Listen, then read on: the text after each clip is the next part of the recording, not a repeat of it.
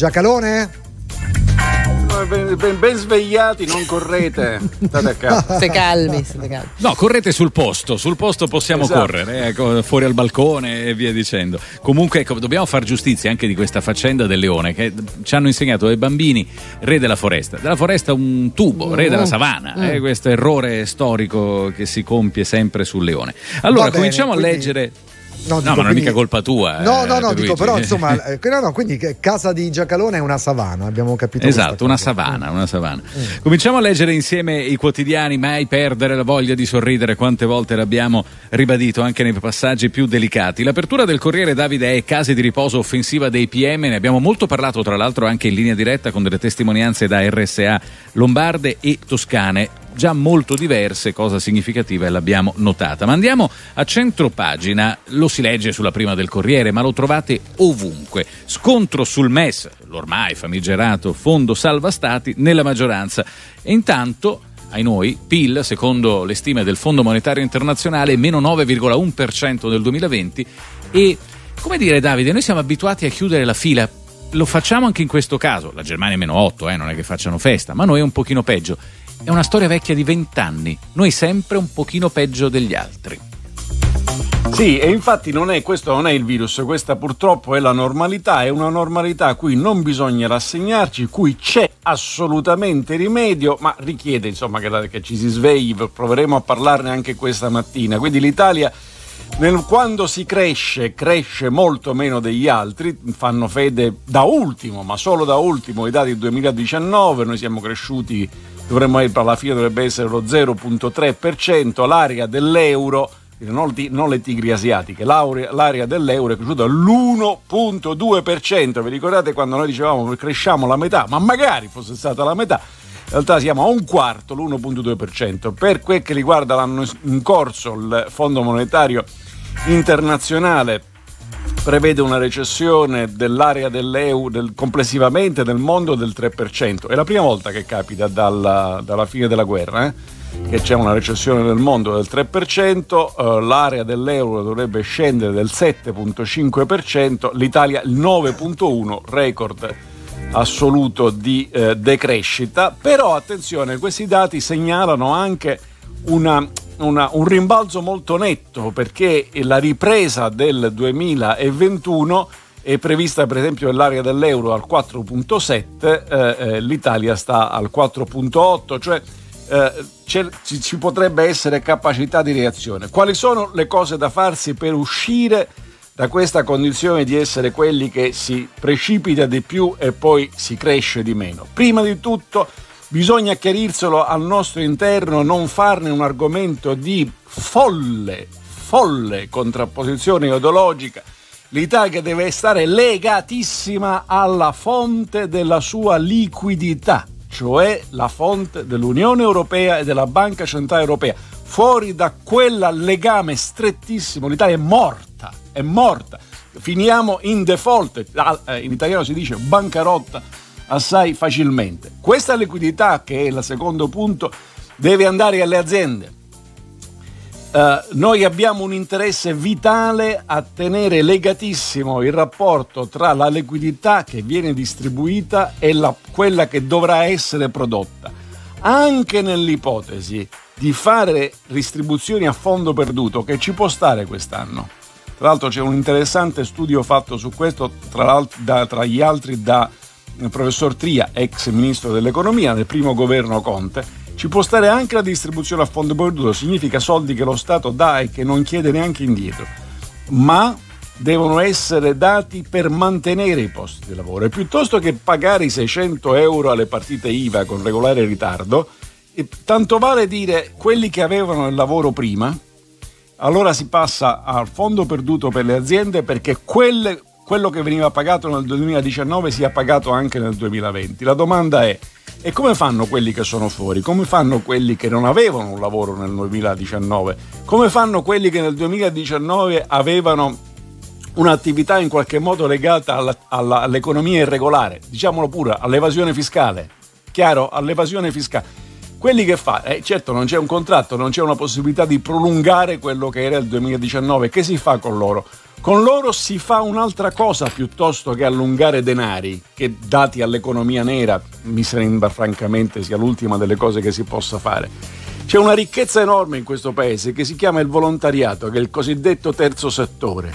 Si passi agli aiuti alimentari, si passi agli aiuti materiali e li si faccia gestire a quel pezzo d'Italia che ha cuore ma che ha anche cervello e capacità di organizzazione sono queste la modalità di spesa che ti consentono la mattina dopo di ripartire, perché noi dobbiamo ripartire, dobbiamo riaprire. Il tema da porsi, Commissione Colau, la Lombardia, quello che dice, bah, cioè l'Italia deve riaprire, la produzione deve ripartire, possiamo fare ancora sacrifici nella nostra libertà personale ma la produzione deve ripartire perché quando ripartirà il pezzo d'Italia che esporta e nel mondo si ricomincerà a camminare, quelle cifre del, del Fondo Monetario Internazionale indicano che si può tornare a correre, l'Italia non può restare indietro su quel mercato lì. La sfida è assolutamente alla portata di chiunque in Italia non si sia perso, imbriacato di balle e ideologie. Davide,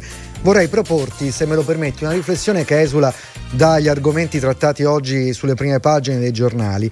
Non so tu, ma io sono rimasto molto colpito in questi giorni da come la televisione italiana, non tutta ovviamente, ma alcuna sta raccontando con le immagini eh, gli italiani più bisognosi. Mi ha colpito vedere telecamere che entrano nei centri eh, che offrono cibo eh, nei centri ovviamente di volontariato, nei centri Caritas, nella comunità di Sant'Egidio, potrei citarne tantissimo, e l'inquadratura eh, delle persone che si recano in questi centri in fila per mangiare, la trovo francamente di cattivissimo gusto. Come trovo di cattivissimo gusto vedere telecamere che inseguono nostri connazionali che eh, fanno i furbi e magari o fanno i coglioni e corrono per i prati rincorsi da poliziotti e dai carabinieri. Cioè l'idea di mantenere anche un po' di dignità eh, nel non far vedere eh, i volti di queste persone in televisione, secondo me è un invito che noi dovremmo fare pubblicamente perché è inaccettabile. Guarda, sono, tu sollevi due questioni. Allora, prima eh, è più facile di, di tutte. L'Italia e gli italiani stanno dimostrando un grande senso di disciplina, praticamente, mm, diciamo così, contro tutti i luoghi comuni che noi stessi italiani utilizziamo sull'Italia e sugli italiani. Uh, uh, la uh, informazione il tema non è quello, diciamo, delle informazioni false, ma delle informazioni falsate, perché se io mando ogni giorno eh, in onda lo spettacolo, compreso sui giornali dove non va in onda, ma siamo le fotografie, le polemiche, di quelli che violano le, le, norme, io do l'impressione che l'Italia sia piena di... E non è vero, ma non è vero, ma lo può constatare qualsiasi persona abbia ancora una finestra, ti affacci e guardi di sotto. E, e, quella che vedi sul marciapiede è l'Italia che ti stanno descrivendo? No, e allora vuol dire ti stanno descrivendo una cosa. Dice, ma è vero quelli che uscivano, è vero quello che corre, è vero quello che stava sulla spiaggia. Congratulazioni, ma se fai vedere solo quello dai l'impressione che questa sia la sola verità e invece non è così. Anzi, la verità è all'opposto. Questa mania di spettacolarizzare, di alzare la voce. Di Uh, io spero, penso anche, ma oltretutto spero che con questa stagione passino dai teleschermi e dai giornali anche diciamo, gli informatori che diffondono disinformazione urlata, rabbiosa, rancorosa, quelli che hanno sempre. Eh, se fosse possibile farla finita, grazie, sarebbe una grande cosa. La seconda questione che sollevi è quella della povertà. Anche lì, eh, noi abbiamo diffuso balle sulla povertà, nel senso che ne abbiamo diffuso un'immagine sbagliata. Molto spesso negli anni eh, eh si è andati a cercare l'anziano povero, eh, eh, che naturalmente esiste pure quello, e ha diritto anche lui alla riservatezza, quindi di non essere ripreso. Però in realtà non è vero, nel senso che purtroppo da noi la povertà che è cresciuta di più è la povertà dei giovani eh, dei bambini, che è una cosa che dovrebbe mordere il cuore, eh, e delle, dei capofamiglia, mettile come ti chiami, maschio, femmina, non ha poca importanza, eh, eh, giovani perché sono i meno protetti e naturalmente in questa area di povertà crescente è crescente la povertà di quelli che oggi contabilizziamo come Italia, eh, sono immigrati. Eh, questo pone un problema ovviamente e quindi pone un problema di soccorso, certo che se tu vai a soccorrere quelli sbagliati, cioè se hai un'idea del povero che non è quella reale, eh, basterebbe semplicemente, anziché mandarci le telecamere, mandarci qualcuno interessato veramente a sapere queste cose, scoprirebbe che alla mensa trova più figli dell'ex ricchezza, tipo per esempio i padri separati, piuttosto che non quelli che vede normalmente nei show e che servono a far crescere ancora una volta la spesa che non produce e che, e che naturalmente impoverisce tutti quanti. Davide, eh, c'è questa tematica stamattina un po' ovunque, ma in realtà se ne parla da giorni. La questione dell'app che traccia i contagi, che traccerà adesso, insomma, c'è tutta la tematica anche poi della privacy, del chi è d'accordo, del chi non lo è, se serve o non serve. Insomma, andiamo a pagina 9 del Sole 24 Ore, mappe del rischio per le imprese. Arriva l'app che traccia i contagi. Insomma, si parla di questo nella fase 2. Allora, va bene tutto per uscire. Vogliamo fare l'app? D'accordo, si faccia l'app per tracciare però A. Ah, l'app per tracciare senza i test clinici per sapere chi è che ha, ha, è, è, è, contaminato, magari cioè, cioè, cioè, se, se, se mi viene la febbre a 40 me ne accorgo da solo, grazie. Però il problema è quando non sono asintomatico, quindi la, l'app senza i test serve sostanzialmente a niente. Eh, secondo, eh, va bene consegnare un altro pezzo di, peraltro molto rilevante, di privacy e di riservatezza, però non fatemi vedere che finisce nel, nelle mani della commissione che deve vigilare, cioè lì ci vuole qualcos'altro di molto più efficace perché sia chiaro che quei dati servono per tracciare le persone che prima hai appurato che sono contaminate o che poi quando scopri che sono contaminate puoi vedere con chi hanno avuto i contatti e che quei dati per nessuna ragione al mondo, fosse anche la guerra alla mafia e al terrorismo internazionale, quei dati serviranno solo ed esclusivamente a questo. Perché poi si comincia dicendo, eh ma c'è la mafia, eh ma bisogna... No, quei dati sono solo per la salute, altrimenti il virus che ci facciamo entrare dentro casa con i telefoni finisce con lei avere un ruolo devastante più lungo nel tempo e il 15 aprile, mezzo mese se n'è andato, si avvicinano anche le date, i giorni dell'auspicata ripresa, lo dicevamo con Davide Giacalone poco fa e più che altro qui si riuniscono commissioni. A tal proposito, attenzione, abbiamo appena parlato dell'app che dovremo utilizzare, ma attenzione massima ai nostri dati. Ce n'è un'altra di commissione, questa è spettacolare quella sulla verità, ossia un, una serie di cervelli, ci si augura, che dovrebbe dire a noi tutti quali sono le notizie da leggere e quali no. Queste cose, Davide, onestamente, Orwell le aveva scritte, le aveva messe nero su bianco, insomma, è diventato famoso anche con questi pensieri. Ne sentivamo proprio la necessità della commissione sulle fake news? No, non ne sentivamo affatto la necessità. Quello di cui si sente la necessità è un buon giornalismo un buon giornalismo è quello che non liscia il pelo, che non asseconda gli umori, eh, ma neanche spera di crearli gli umori, cerca di dare le informazioni. L'obiettività non esiste, questo perché sia chiaro. Io comunque la realtà la guardo con i miei occhi e i miei occhi peraltro hanno bisogno degli occhiali, quindi già, già ci sono diversi diciamo, filtri alla realtà. E poi io posso essere onesto, ecco, quello che, quello che mi si può chiedere è di essere onesto, cioè di non nascondere fatti che, che, che, che mi sembra vadano contro quello che penso. Eh, quello che colpisce, quello che inquina la realtà, certo ci sono anche diffusori, i diffusori di balle, eh? perché fra l'altro fake news è più lungo e meno, meno espressivo di balle. Vi faccio un esempio. Qualche giorno fa è capitato a proposito del celeberrimo MES di ricordare che il MES è stato trattato dal governo Berlusconi eh, e, e, fra l'altro io dissi che lo ricordavo perché eh, lo ritenevo un merito del governo Berlusconi, non ritengo mica un, cioè sono dei criminali, hanno fatto bene, MES è una cosa buona, è una cosa giusta.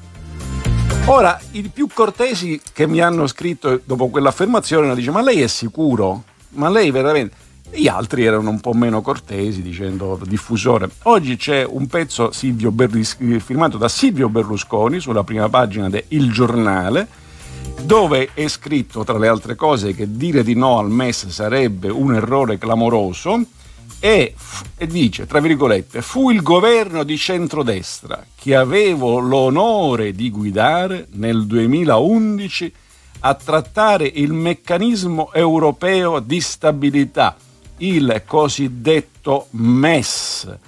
Ora, per saperlo, io ringrazio anche personalmente il eh, Presidente Berlusconi per averlo ricordato, ma per saperlo non c'era mica bisogno che, che te lo dicesse Berlusconi, eh? Basta studiare, basta saperlo. E visto che ci siamo a proposito di balle che si raccontano e degli effetti che poi le balle hanno, noi non dovremmo prendere i soldi del meccanismo di stabilità per la, per la sanità? Ma perché? Ma perché? C'è qualcuno in grado di spiegare perché? Sono i soldi pre- prestati a più lunga scadenza, al più basso tasso e senza condizioni. Perché, se non accecati dall'ideologia, dovrei rifiutare quello che è all'evidenza una cosa come sono 36 miliardi da spendersi nella sanità. Perché non dovrebbero essere? Solo in ossequio alla poter fare la campagna elettorale no al MES? E poi perché no al MES in generale? Perché? Perché il MES non funziona? E qui arriva la balla. Ma la balla insieme alla disinformazione perché ha affamato i greci perché i greci muoiono, la Grecia muore, perché il MES l'ha affamata. La Grecia è stata salvata. Il MES non c'entra un accidente perché non c'era. All'epoca era uno strumento che si chiamava EFSF. MES è stato creato dopo perché? Perché il salvataggio della Grecia fu fatto male. Fu fatto molto male. Noi lo, io lo criticavo all'epoca qui, mentre lo si faceva perché si coinvolse il Fondo Monetario Internazionale e si lavorò alla salvezza del debito che i greci non erano più in grado di rimborsare, salvando in primis le banche che, che erano, erano soprattutto tedesche e francesi che avevano prestato i soldi ai greci. Ma l'operazione finale, al netto di questo errore, che considerai e considero un errore grave, al netto di questa operazione, la Grecia, che era in bancarotta, per avere falsificato i conti ed essendo la Grecia il paese dell'Unione Europea che più è cresciuto economicamente e si è giovato dall'ingresso nell'euro e ha poi falsificato i conti, la Grecia è stata salvata. Salvata. Chiaro? Perché il governo Tsipras ha trattato giustamente dal suo punto di vista e l'Europa ha giustamente assecondato perché che volevi fare?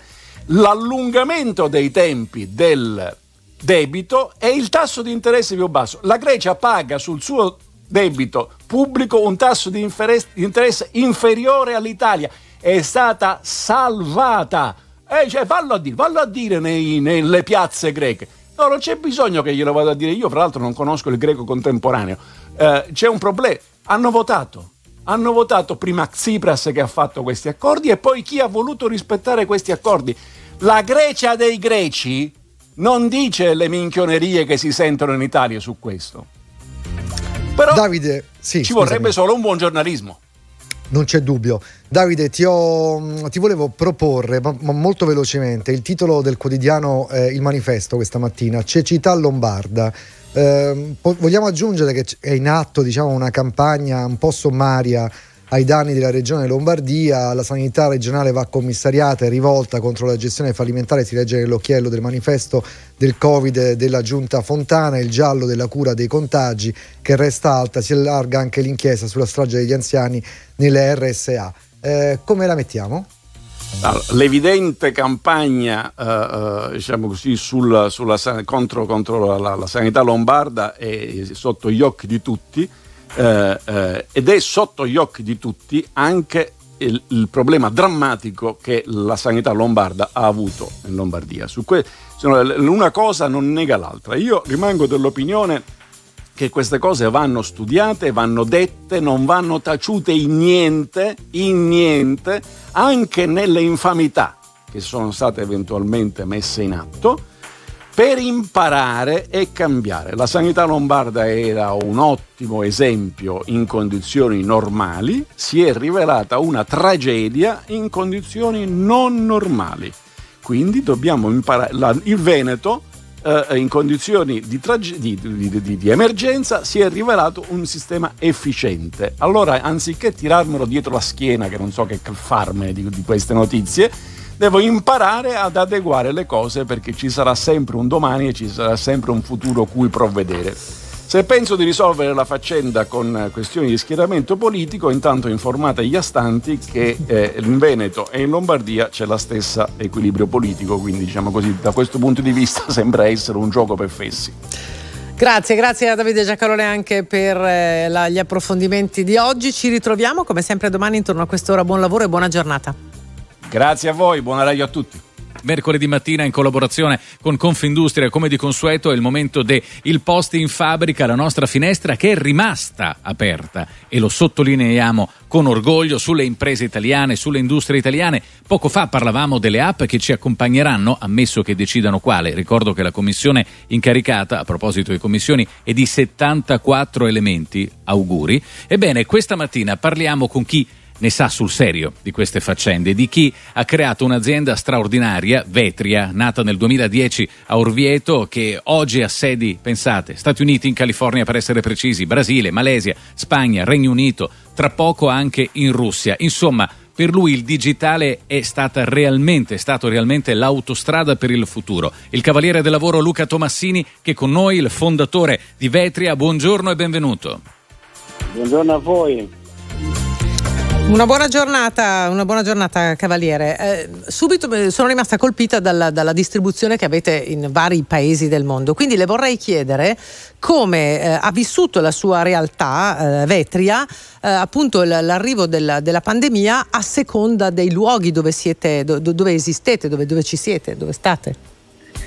Ma guardi, per noi è del tutto naturale lavorare in smart working. Devo dire che non è eh, il massimo della felicità operare in una situazione drammatica come questa, però eh, noi lavoriamo con eh, gli sviluppatori, lavoriamo con gli analisti, lavoriamo con eh, gente che è abituata a stare davanti ad uno schermo a scrivere, a scrivere codice, per cui eh, fisicamente eh, stare in azienda, stare all'interno del campus piuttosto che stare a casa e sviluppare i vari moduli delle piattaforme digitali che sono poi il nostro core business eh, ci, cambia, ci, cambia, poco. Certo, certo il digitale eh, non potrà mai sostituire un, eh, un, abbraccio, un saluto, una stretta di mano, una, una socialità che è, è, naturale, però devo dire non, non abbiamo avuto particolari impatti eh, dire, economici e, o eh, problematiche legate a, allo sviluppo del lavoro. Ecco, noi abbiamo detto ai nostri ascoltatori che voi vi occupate in maniera eccellente di comunicazione appunto digitale e di intelligenza artificiale. Avete 200 dipendenti e ne cercate altri 10. Vogliamo spiegare bene ai nostri ascoltatori di che figure professionali avete bisogno? Sì, guardi, noi in realtà eh, mettere il limite a 10 eh, sinceramente non me la sento. Io cercherei molte persone eh, che operano soprattutto sul campo del, del eh, data science, quindi eh, la possibilità di andare a valorizzare i dati eh, che noi eh, umani generiamo attraverso eh, i diversi device, quindi ehm, persone che sono in grado di fare mm, big data analysis, persone che sono in grado eh, anche di programmare in ambienti di intelligenza artificiale, eh, persone che conoscano eh, sì la programmazione ma che eh, siano in grado anche di eh, capire l'elaborazione di, di questi dati. Eh, sì, questo stiamo cercando, stiamo cercando persone perché di fatto questo nuovo mondo ci impone di andare a lavorare moltissimo in ambienti di machine learning e in ambienti di intelligenza artificiale. Perché che, che, se ne dica Cavalier Tomassini, il digitale senza le persone semplicemente non esiste, anche se qualcuno per anni ci ha raccontato, ho provato a raccontare storie completamente diverse. Ricordate, se volete candidarvi a Vetria, avete sentito non necessariamente 10, se siete bravi, se siete capaci, se avete una mentalità aperta, non solo se sapete programmare, ma se avete anche delle qualità umane, www.unimpiego.it slash il posto in fabbrica Vetria può essere la vostra occasione della vita. Cavaliere, visto che lei è un'autorità indiscutibile in merito e in materia, chiedo scusa, questa faccenda dell'app e dell'uso dei nostri dati nei mesi che ci aspettano, lei che idea se n'è fatta? Riusciremo a individuare un'app in tempi rapidi, a utilizzarla e bene? Guardi, io qui devo, devo farle eh, due tipi di considerazione. La prima è che noi eh, in tempi non sospetti, il 7 di, di, di marzo, eh, abbiamo proposto subito al, al governo italiano una, una, soluzione, una soluzione basata sul Bluetooth, eh, che poi di fatto è la soluzione in qualche modo che è stata riconosciuta um, in ambito europeo su un progetto europeo importantissimo, la soluzione che mantiene eh, riservati i dati, mantiene la privacy, abbiamo fatto un accordo importante con, con Sogei che come sa è la società del Ministero delle Finanze per fare in modo che questi dati restino all'interno eh, nostra, del nostro paese, Davide Giacalone, che sentito prima, eh, ha fatto delle osservazioni importantissime in tal senso.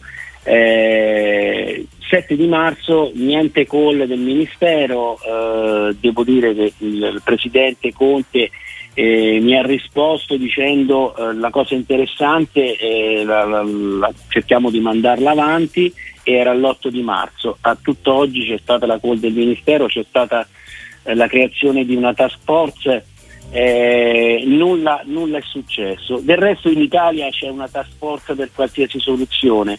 Ecco. A me non interessa quale idea vincerà, faccio un imprenditore e quello che mi interessa è realizzare soluzioni dove l'innovazione di valore sia un vantaggio competitivo per i miei clienti. In questo caso specifico non lavoriamo no, di proposito con la pubblica amministrazione, anche, anzi direi in questo caos specifico mi faccia dire è ancora più evidente eh, eh, l'assenza di metodo. Certo, la situazione che stiamo vivendo era imprevista forse, ma perché mi chiedo? Prima fai una call, poi dopo una settimana stabilisci una commissione di, di, con più di 70 persone, ma soprattutto dopo un mese, ancora non è chiaro in base a quali principi debbano decidere prezzo, privacy, diffusione se non hai obiettivi e priorità chiare e trasparenti, come puoi fare una scelta? Ora poi abbiamo una nuova task force guidata dal dottor Colau, che conosco personalmente e a cui faccio i complimenti. Come si relazionano tra loro? In base a che cosa dovranno decidere? Non posso non notare che queste forme di dilettantismo procedurale, prima si fa un piano mm. strategico, poi si decide cosa, eh, cosa, fare, poi un piano tattico per arrivare all'obiettivo. Insomma, di sicuro non è, aiutano, è, ecco, cioè, Cavaliere, no, certo, è, di sicuro non aiutano. Io personalmente sono soddisfatto perché ho già vinto, se la scelta di Google e Apple è quella collegata al Bluetooth vuol dire che l'idea lei aveva ragione. Avuto, eh, certo, lei aveva ragione. Sì, il problema, sì, sa, io guardo banalmente il calendario. Il 7 lei ha sentito Conte, marzo. Oggi è, se non sbaglio, il 15 aprile e siamo qui ad aspettare la decisione dei 74 sull'app. Fatevi i vostri calcoli, non aggiungo Comunque, altro. Cavalier Tomasini, le sue parole ragionevoli, ricche ovviamente di competenza e di esperienza, beh, non rimarranno qui, arriveranno sicuramente anche al Presidente del Consiglio. Grazie per essere stato con noi, la ringraziamo veramente di cuore per il tempo che ci ha concesso. Buona giornata. Grazie a voi, grazie. Salutiamo subito anche Don Antonio. Don Antonio, buongiorno, bentornato. Sì, sì, beh, buongiorno, ascoltatemi bene, lasciatemi chiacchierare, ma finché c'è tempo cerchiamo di diventare, facciamo le prove noi per diventare buoni facciamo le prove per diventare buoni, tutti, tutti, tutti, va bene finché c'è tempo. Ci Niente siamo. male come idea, no, no. Hai ragione, abbiamo il tempo per fare per le fare prove. prove perché poi le mettiamo Ecco. in atto quando usciamo tutti. Ecco, ecco, ecco, non perdiamo tempo, non Va bene. perdiamo tempo. Anche Bravo una- Don Antonio. Una prova, Fulvio, ce l'abbiamo davanti a noi, che è quella del Covid, quindi insomma.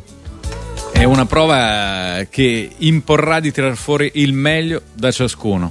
Ci sono dei dati, Fulvio, tutti da commentare.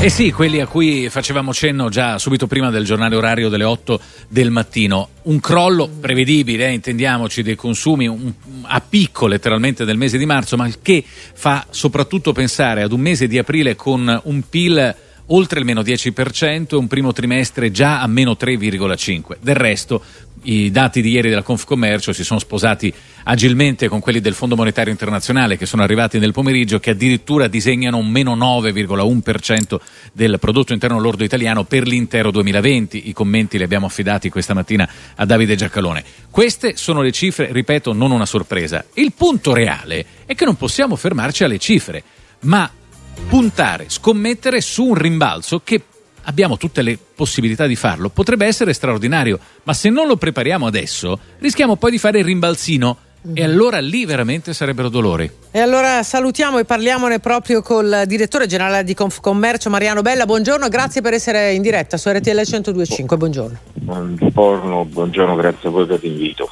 Buongiorno Bella, senta, può farci subito una fotografia eh, della situazione dei consumi nel nostro paese? Eh, I dati non sono ovviamente e comprensibilmente confortanti, però vediamo cosa resiste e cosa no.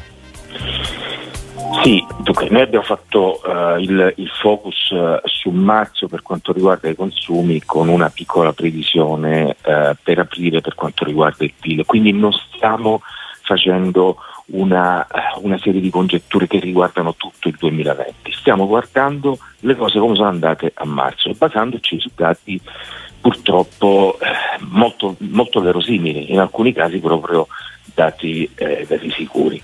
Complessivamente noi valutiamo una perdita a marzo in termini di consumi rispetto al 2019 del 30%. Ora, quando noi abbiamo fatto questa valutazione 30-31%, abbiamo pensato fosse sbagliata sinceramente perché anche gli analisti diciamo, che, da 30 anni fanno questo mestiere numeri di questo genere non l'hanno mai visti.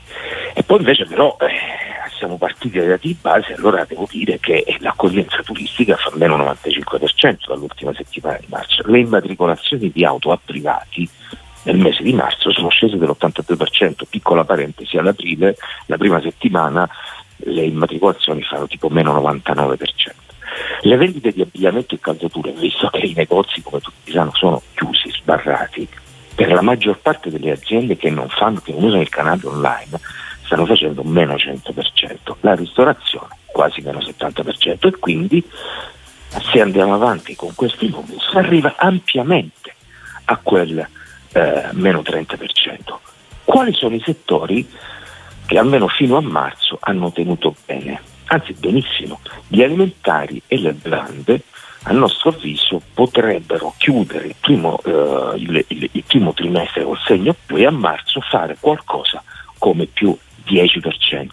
Da cosa deriva questo 10% del, degli alimentari? Dall'accaparramento? No. Un, gli italiani sono molto responsabili si comportano molto bene, l'accaparramento è durato un giorno. Derivano dal naturale spostamento di risorse dalla ristorazione fuori casa alla ristorazione in casa. Quindi è una migrazione dal, da, uh, dagli alberghi dei ristoranti al, al, agli alimentari in casa. Cos'altro tiene? Eh, prodotti farmaceutici e terapeutici, i servizi per le comunicazioni a nostro avviso e poi stop. Poi una sequenza di segni meno che sinceramente non si sono mai visti, almeno nella storia recente, almeno da quando ci sono statistiche affidabili. Sì, direttore, questi sono di fatto già nei libri di storia, ma è magrissima consolazione. Del resto possiamo Sì. aggiungere il nostro di settore che vive di pubblicità azzerato Ah. letteralmente Sì. nel mese di marzo, ma lei lo sa, la pubblicità Esatto. eh, Certo. di fatto nel, nel settore radiofonico noi poi abbiamo come dire il canale radiotelevisivo che diventa assolutamente strategico, ma questo è un altro settore che si è trovato letteralmente azzerato. Direttore, prima mentre la, la cercavamo al telefono ci siamo permessi di dire questa è la realtà di oggi, questi sono i numeri e diciamola tutta, non potevano essere diversi con il paese chiuso, fermo. Il problema è scommettere adesso, programmando, su un rimbalzo forte. Perché se poi facciamo il rimbalzino, siamo veramente nei guai. Abbiamo le possibilità di fare il rimbalzo, ma come lo prepariamo oggi? Eh, eh, lei ha messo tanta carne al fuoco ed è tutta carne, carne che va mangiata, che va affrontata. E il rimbalzino o il rimbalzone. Eh, intanto vediamo che cosa bisognerebbe fare per sperare di non creare lesioni permanenti al tessuto produttivo, cioè quando ripartiamo che ci sia ancora il tessuto produttivo come c'era prima e fidandoci degli imprenditori e delle istituzioni ripartire. Oggi bisogna fare in modo che appunto le imprese non chiudano definitivamente e quindi quando si, eh, si, si potrà riaprire eh, non ci sia una eh, riduzione dell'occupazione del tessuto produttivo e quindi un incremento per esempio della povertà assoluta. Cosa si deve fare? Per adesso mi pare che in Italia si sia puntato sulla liquidità, ma la liquidità vuol dire che io imprenditore che ho perso il 100% del mio reddito mi fido del futuro e mi faccio prestare dei soldi che poi comunque devo restituire al sistema bancario. Questo potrebbe non bastare. Quello che manca, a nostro avviso, è un sistema di trasferimenti a fondo perduto proporzionali al reddito perso, che è poi diciamo, il teorema Draghi. In un momento come questo eccezionale, in cui la colpa non è del mercato degli imprenditori, viene dall'esterno. In un momento eccezionale come questo si deve fare del debito pubblico che serve per assorbire le perdite private. Nulla di più, nulla di meno. E questo diciamo si sta facendo un po' in parte. C'è la burocrazia che in Italia è un problema che vediamo anche adesso, i soldi ancora non sono arrivati, la liquidità a nostro avviso non è l'unico pilastro su cui puntare. Rimbalzino rimbalzone, ok, questo dipende dalla fiducia, l'abbiamo detto, c'è però un problema di debolezza strutturale nostra, del, del, nostro paese che prescinde dal coronavirus.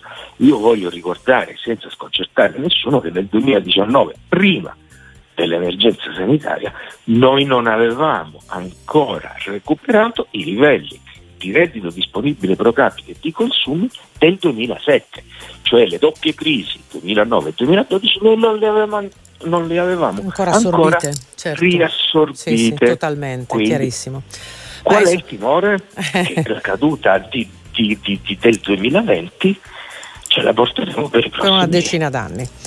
Beh, sono, ecco, sono timori, speriamo, lei, sì, no, speriamo che le cose vadano molto meglio eh, di lavoriamo quanto... per evitarlo. Esatto, lavoriamo proprio per evitare tema, tutto eh, questo. Certo. Sì, d'accordo Fulvio, certo. certamente. Al direttore generale di Confcommercio diciamo grazie per questo intervento. Mariano Bella, buon lavoro, ci sentiamo molto presto.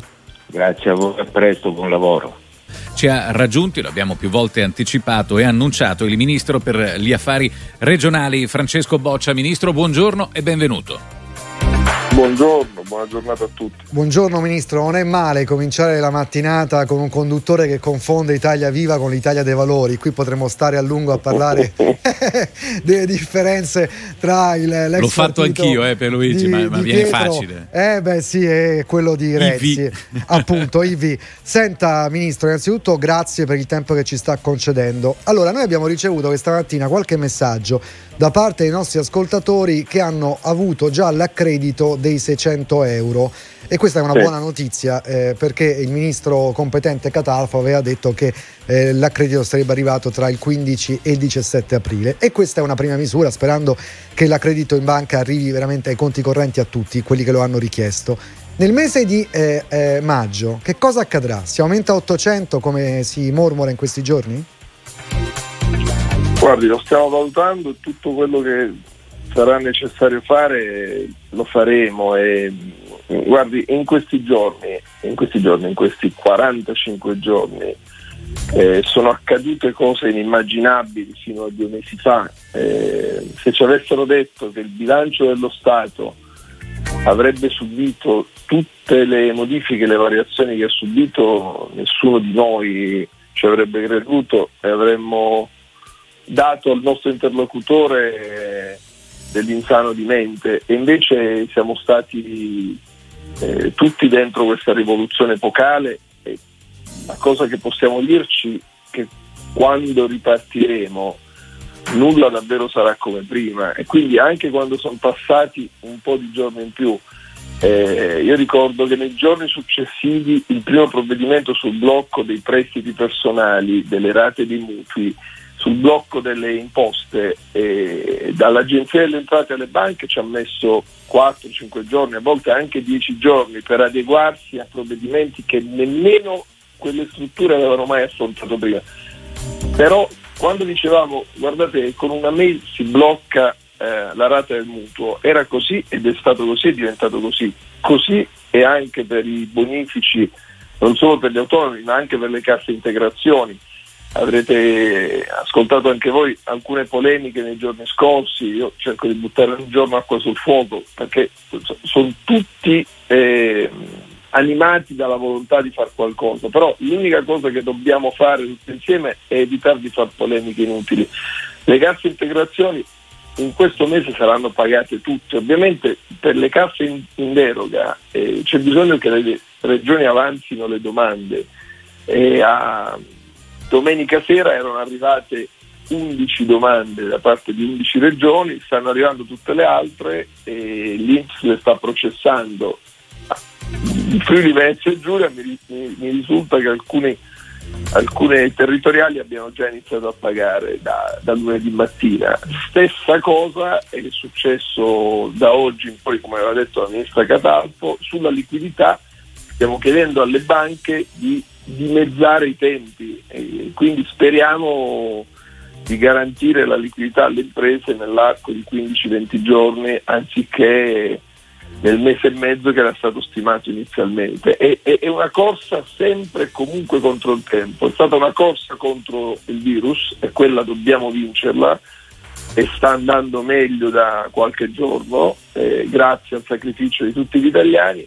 Sugli strumenti economici sarà una, una, una guerra inevitabile contro contro le difficoltà sociali e noi dobbiamo anche qui eh, mettere davanti la dimensione sociale rispetto alla dimensione economica per come l'abbiamo conosciuta eh, negli ultimi decenni. Eh, io penso che anche le parole di Papa Francesco negli ultimi, in questi ultimi giorni siano una rotta.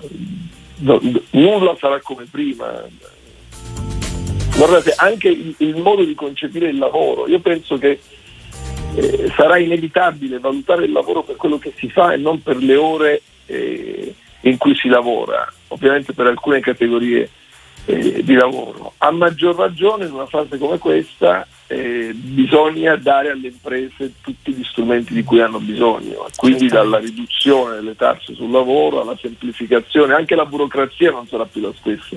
Ci auguriamo che, che, sia un po' più semplice. Dovranno, dovranno, diventare dei semplificatori. Esatto. Siccome abbiamo potuto fare in pochissimo tempo in questi giorni alcune cose e dico abbiamo perché non le abbiamo fatte da soli, le abbiamo fatte noi, le abbiamo fatte le regioni, le abbiamo fatte i comuni con ruoli diversi, siccome le abbiamo potute fare in pochissimi giorni, a volte in qualche settimana, significa che si possono fare sempre. Ministro... Ovviamente per farlo bisogna cambiare eh, non solo i nostri modi di, di, concepire la dimensione sociale, la dimensione economica, ma anche le regole. Ministro Boccia, eh, la corsa contro il tempo adesso è sul ripartire, no? evidentemente siamo sì, certo. nella fa- famosa fase 2. Eh, per esempio abbiamo avuto poco fa in diretta il direttore generale di Confcommercio che ha fatto riferimento ad una richiesta molto specifica di liquidità a fondo perduto. È una via impraticabile? Ma guardi, intanto per, diciamo, quando si parla di liquidità a fondo perduto si sta parlando di soldi pubblici da dare ai privati.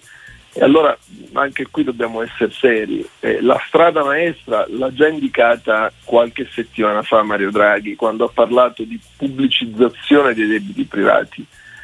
E io penso che ci arriveremo, ma ci dobbiamo arrivare in maniera seria. Intanto ora facendo le cose che si possono fare, perché le, le, le risorse ovviamente sono risorse di tutti, ci sono imprese e ci sono lavoratori, ci sono italiani senza lavoro che hanno bisogno assoluto di aiuto e gli va dato. E poi ci sono, ci sono eh, settori e categorie eh, che non hanno subito la stessa crisi di chi non lavora più. Ed è ovvio che bisogna fare delle distinzioni. Quindi penso che in questo momento sia opportuno eh, fare le cose che eh, il quadro, il contesto eh, non solo europeo ma anche nazionale ci consentono per rispettare tutti nel migliore dei modi, perché le risorse che stiamo prendendo le stiamo prendendo a debito, eh, sono le risorse che ci mettiamo sulle spalle nostre dei nostri figli, eh, le risorse non, non, arrivano dal cielo, eh, sta aumentando il debito pubblico e di questo dobbiamo essere consapevoli, io penso che sia giusto e inevitabile, lo stiamo facendo eh, abbattendo tutti i vincoli a cui eravamo abituati, quante volte abbiamo discusso eh, con voi, con i vostri colleghi sui vincoli di bilancio dell'Unione Europea, non ci sono più di fatto, sono saltati tutti.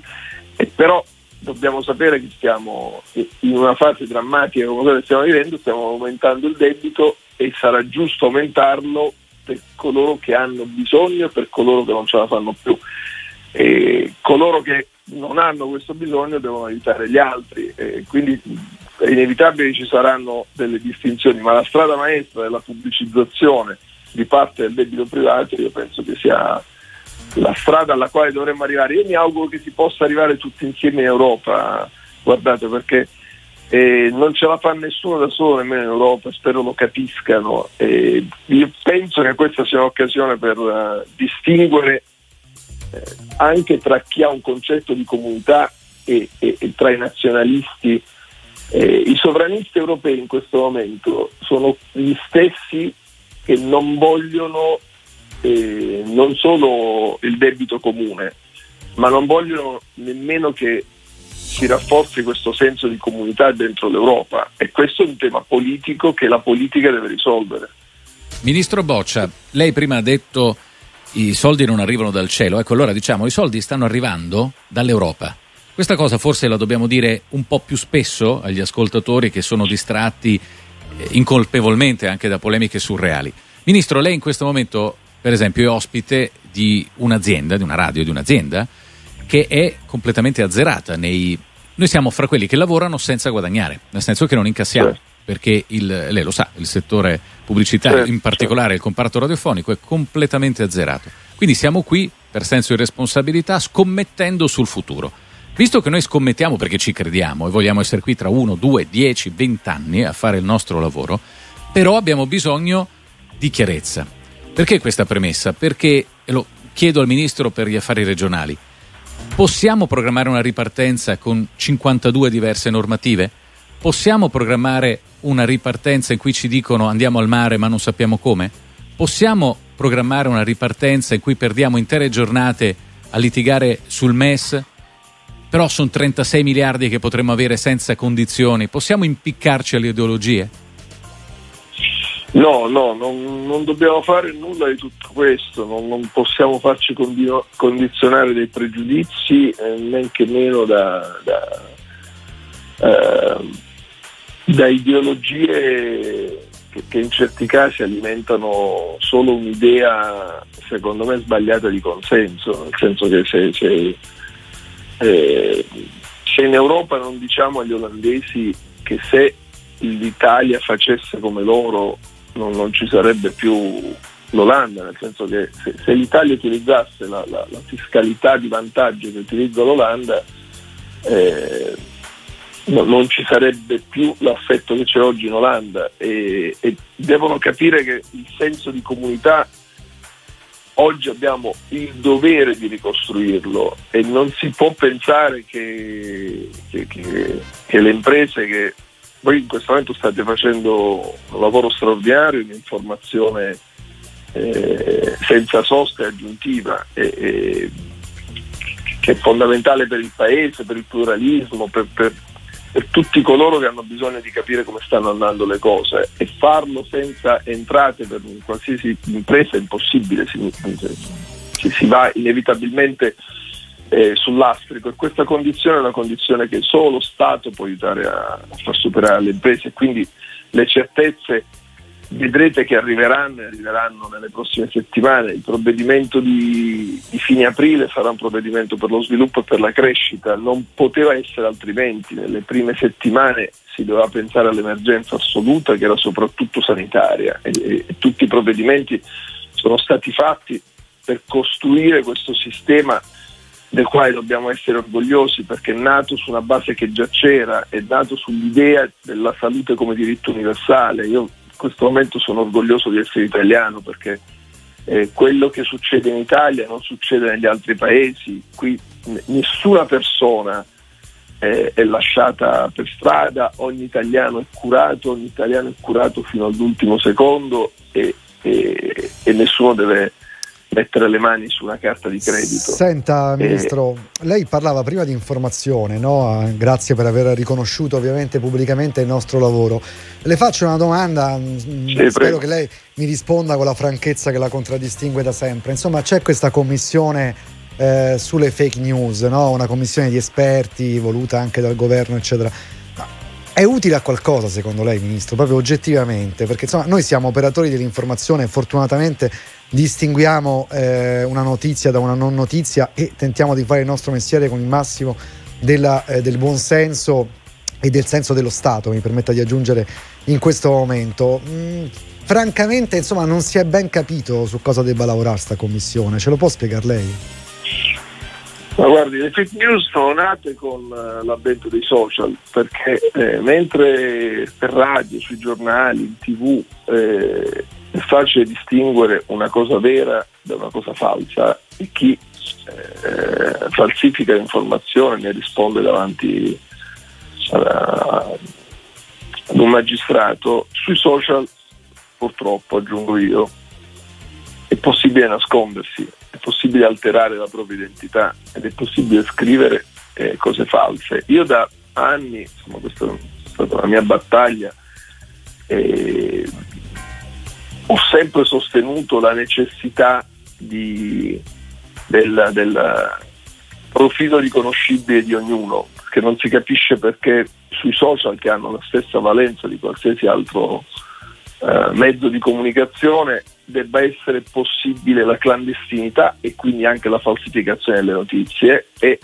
aggiungo, ho sempre detto che al tempo della società digitale distinguere un'informazione vera scritta da un giornalista e, e, e un giornalista è, è, riconoscibile per la sua storia, per il suo curriculum, per la sua iscrizione a un ordine, è un diritto di, di chi legge e io devo sapere se quella informazione è stata scritta da un cittadino libero, vero, da un cittadino clandestino o da un giornalista. E questa distinzione e così come avviene in uh, tv, sui, nelle radio e nei giornali, deve avvenire anche sui social. E ci arriveremo, io penso che questa commissione debba aiutarci a fare questo lavoro e ci sarà un momento in cui eh, la clandestinità diciamo, dovrà essere trattata come è trattata sugli altri mezzi di informazione e soprattutto